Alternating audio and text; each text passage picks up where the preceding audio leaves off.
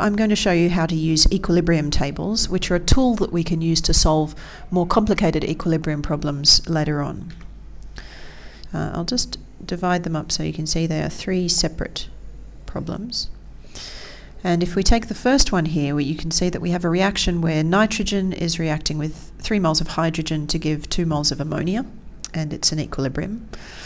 And we're given some information. We're told that initially 0.1 moles of nitrogen was mixed with 0.1 moles of hydrogen, and that there was no ammonia present at the beginning. And then the system was allowed to come to equilibrium, and you're given the extra piece of information that at equilibrium there is uh, 0.07 moles of nitrogen. But you're not told how much hydrogen and ammonia there are at equilibrium, and that's what we want to work out. So what I'm going to do is put an extra row in the middle of this table, which I'm going to call uh, moles used or produced. You could call it perhaps the change, change in moles. So you can see that for nitrogen we started with 0.1, we ended up with 0.07, so we must have used 0.03. Okay, we could say minus 0.03. So 0.1 minus 0.03 gives us 0.07. Now, how much hydrogen was used? Well, we know that for every one mole of nitrogen, three moles of hydrogen get produced. It's a one to three sorry, for every one mole of nitrogen used, three moles of hydrogen get used. So it's a one to three stoichiometric ratio.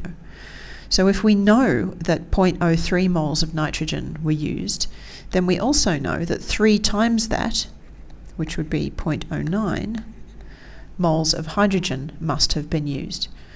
So the moles of hydrogen left at equilibrium is 0.1 minus 0.09, which gives us 0.01.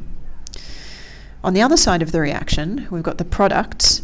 Now, going back to the stoichiometry of the reaction, you can see there's one mole of nitrogen uh, ends up giving two moles of ammonia, so that's a 1 to 2 ratio. If we used 0.03 moles of nitrogen, then we must have produced twice as much ammonia, so that's 0.06. And it was produced, so we'll make it positive, plus 0.06. So we started with none, we created 0.06 moles, so at equilibrium we have 0.06. And that's our table filled in. Okay, let's do the second one. So we'll put in this intermediate row again, call it the change row. Um, I have some people call, uh, I have seen some people call these ICE tables, as in I for initial, C for change, and E for equilibrium. If you uh, like to write them out like that, that's a great idea. Okay, so in this one we've got methane reacting with water to give carbon monoxide and hydrogen. We're told that initially there is one mole of each of the four species, and we're told that at equilibrium we uh, have 1.6 moles of hydrogen. So we can fill in the change row for hydrogen. Uh, obviously 0.6 moles of hydrogen was produced. Okay, now we look at the stoichiometric ratios. You can see that hydrogen is 3, all of the other species are 1, so they're all a 1 to 3 ratio.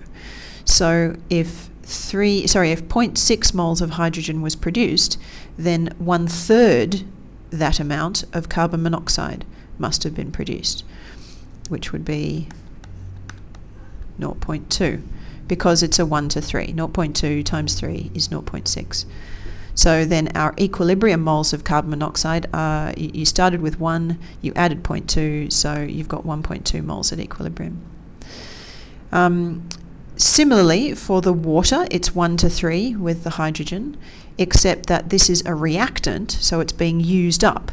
So the change is not plus 0.2, it is minus 0.2. 0.2 moles of water are used to give 0.6 moles of hydrogen. So we had one, we used 0.2, so we're left with 0.8. Uh, and the same with the methane. We used 0.2 and we end up with 0.8. Okay, uh, third example, we've got 2 moles of sulfur dioxide reacting with 1 mole of oxygen to give 2 moles of sulfur trioxide. We start off with 2 moles of sulfur dioxide and 2 moles of oxygen and no sulfur trioxide. and we're told that at equilibrium there's 0.7 moles of sulfur trioxide. So let's put our change row in and we can fill that in for sulfur trioxide. There must have been 0.7 moles produced. Uh, now if we look at sulfur dioxide and sulfur trioxide, they're a 2 to 2 ratio, which is the same as a 1 to 1 ratio. So however much sulfur trioxide is produced, the same amount of sulfur dioxide must have been used. So we produced 0.7 moles of sulfur trioxide, so we must have used 0.7 moles of sulfur dioxide. And that means that 1.3 moles is left at equilibrium.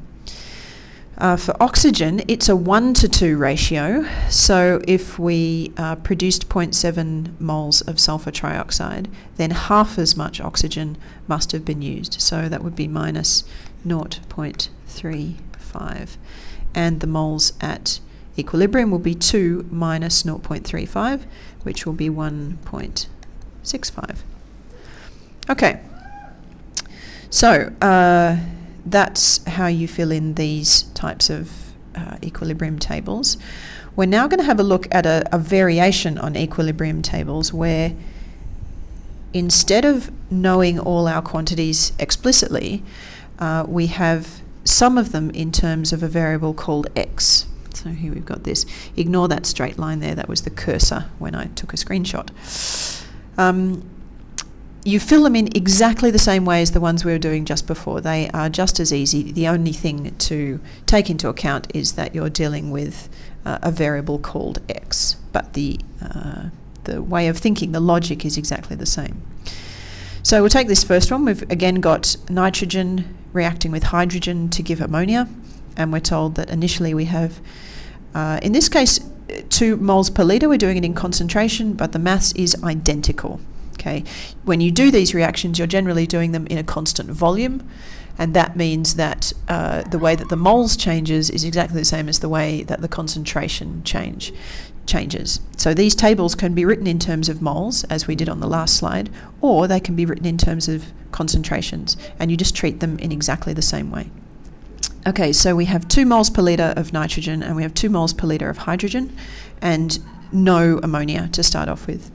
And we're told that when it reaches equilibrium, we have 2x moles per litre of ammonia. So let's put in our change row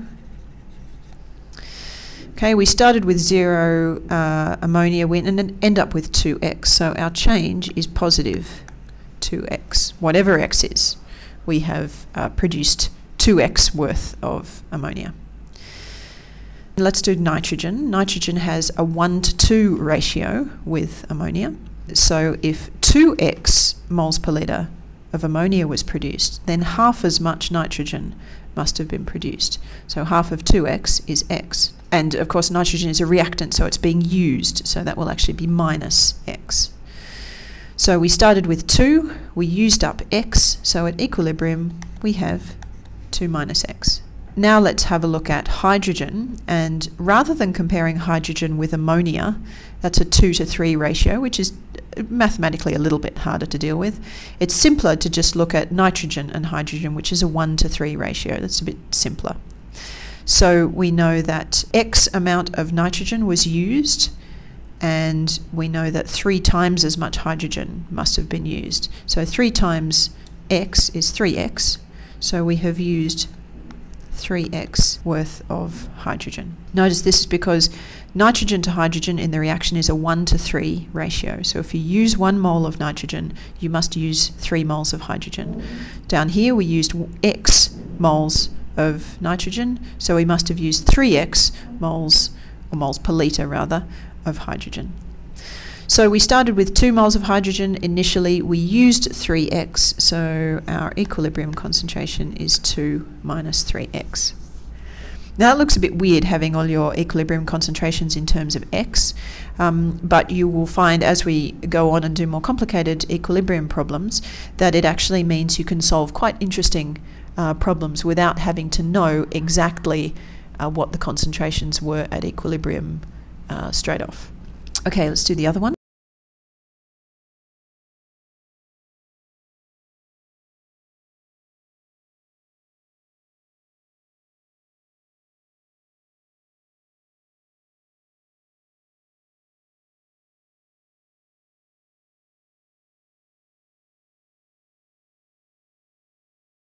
Okay, that's all for now.